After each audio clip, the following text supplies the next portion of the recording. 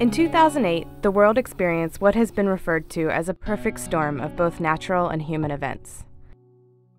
Droughts in grain producing nations, increased demand for meat, the lowest reserve of food stocks on record, and rising fuel prices led to what is referred to as the 2008 global food crisis. In the United States, the results were $4 per gallon gasoline and higher costs for food staples. In some regions of the world, people saw their cost of food double or even triple. How did a world so rich with food end up with such a vast problem? To uncover the answers, it pays to step back, far back, and get a global perspective. NASA satellites monitoring our planet from space are in the perfect place to help us see the global picture.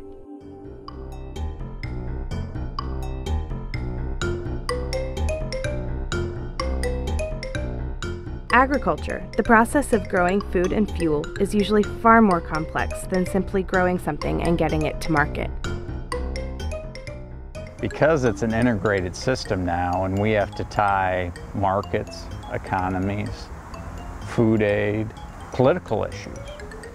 And yes, making sure we have a stable economy and we have enough food to eat here. All those things tied together require us to have a very good system of being able to monitor crops and food supply.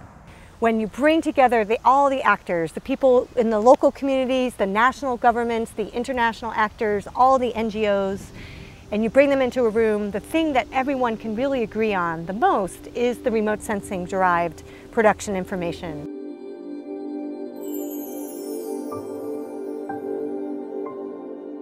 One of the best ways to gauge world food production at any given time is to monitor from space literally how green food producing regions are. By looking at the greenness of a particular area, scientists are able to tell how much photosynthesis is occurring therefore providing an indicator of how lucrative the harvest will be.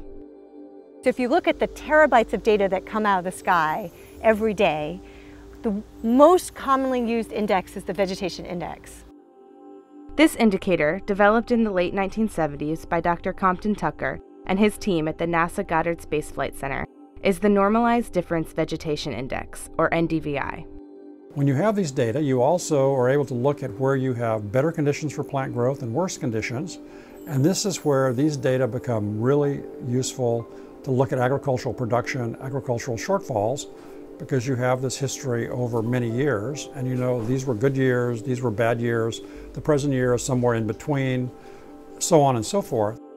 It's a really interesting indicator because it lets us see the health and the, the, the productivity of plants at a wide variety of scales. What it does is it opens up to all those decision makers who have to make decisions about their crops now.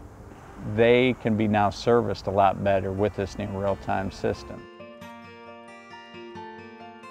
But NASA looks at more than just how green our planet is day to day.